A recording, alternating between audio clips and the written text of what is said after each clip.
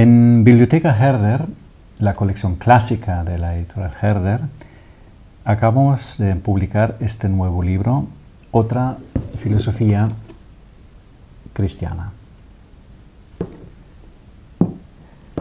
El autor, Enrique González Fernández, es discípulo de Julián Marías y es actualmente profesor de filosofía de la Universidad San Damaso de Madrid. Martin Heidegger, que estuvo en el seminario de Friburgo, donde estudió teología y filosofía cristiana, más tarde dijo, una filosofía cristiana es un hierro de madera, es un malentendido, es algo que no puede ser. Según el autor, esta opinión, hoy generalmente aceptada, se debe a dos factores. El primero es el miedo, el miedo al error, porque un error filosóficamente argumentado se convierte en una afirmación herética. Pero una filosofía sin error no puede existir. El segundo factor es el hecho de que la filosofía cristiana tradicional, el tomismo, es una filosofía basada en, sobre todo, Aristóteles. Pero la esencia del pensamiento cristiano es la relación de amor entre Dios y el hombre. Y esto es totalmente ajeno al pensamiento griego.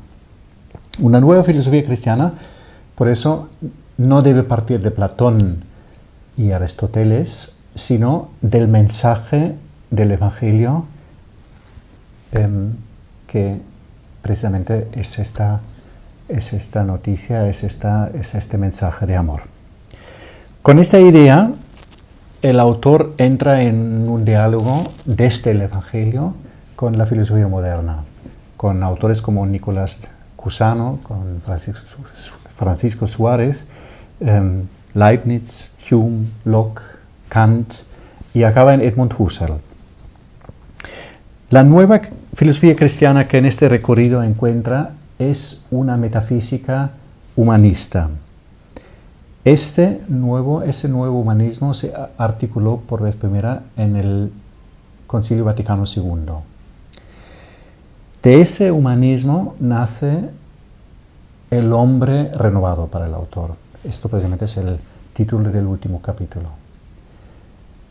Renovado por una cultura, un pensamiento, una educación desde el principio del amor.